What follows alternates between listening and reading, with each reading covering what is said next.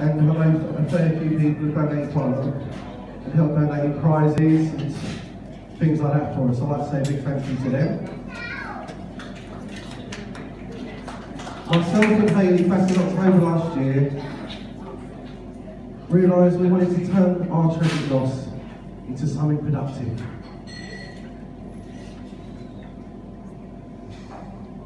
So parents that are going to have babies in a similar situation to ours can still have the same treatments and facilities that we had to get through all as well. All the proceeds are going to the unit that helped us through, which is the UCLH fetal unit.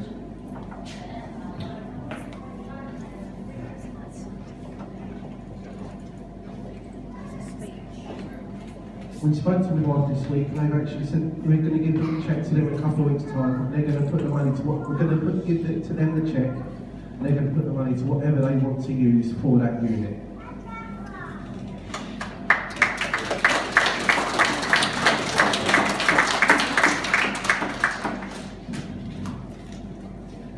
They said along the lines of the specialist cardiac equipment to detect congenital heart defects like our little girl had, which was the hypoplastic left heart syndrome.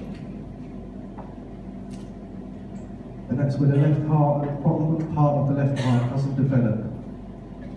One of the easy ways that I find of explaining it is the right side's like a big Tesco shopping bag, and the left side's like one of the little drinks bags you get when you buy the drinks from the newsagents. That's the whole different size the best way to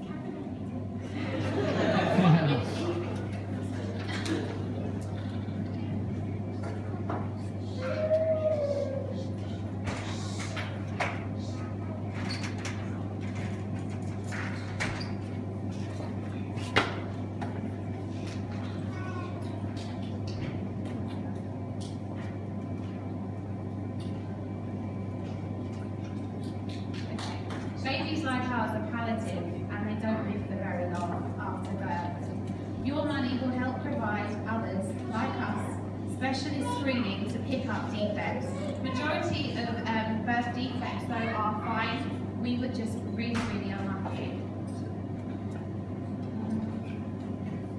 We really appreciate all your support and generosity this evening. To know that all the money raised will help other families and, and their unborn babies detect um, for abnormalities means so much to us and we know that tonight was, was worthwhile. Thank you again and you've all got raffle tickets so let's cancel those. And we're going to do the draw now, so get your tickets ready.